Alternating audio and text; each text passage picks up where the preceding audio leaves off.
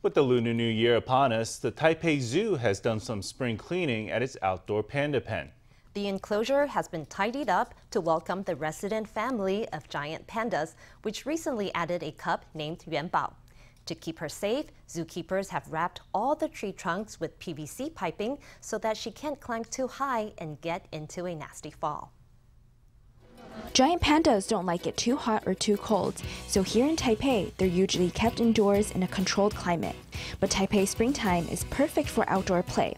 With Spring Festival around the bend, zookeepers have been sending out Tuan Tuan, Yuan Yuan, Yuan Zai, and Yuan Bao to enjoy the sun. Uh, so after the this safety consideration, the next step is uh, we realize that the temperature or the environment is quite well outside.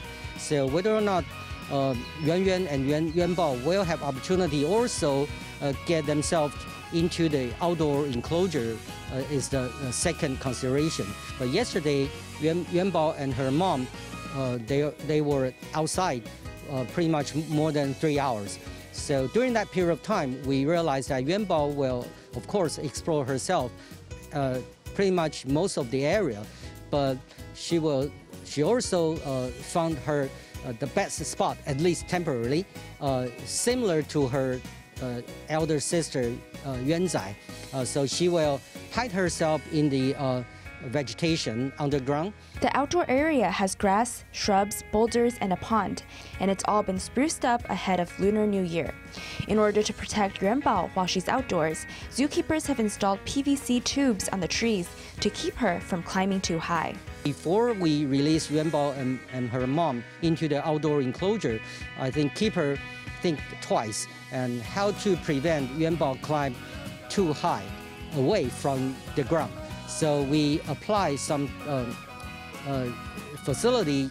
Uh, we cover the big tree with the PVC tube, so that can really help to prevent Yuanbao climb to the upper area.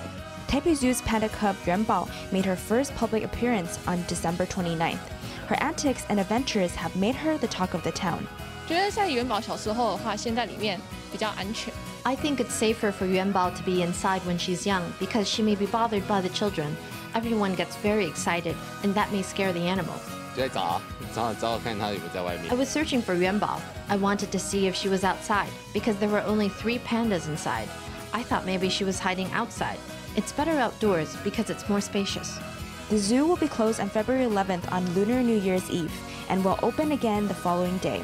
As a COVID precaution, there's real name registration at the entrance, and visitors are required to wear a mask at all times. Formosa News, Stephanie Yang, Zhang Wei Yao in Taipei.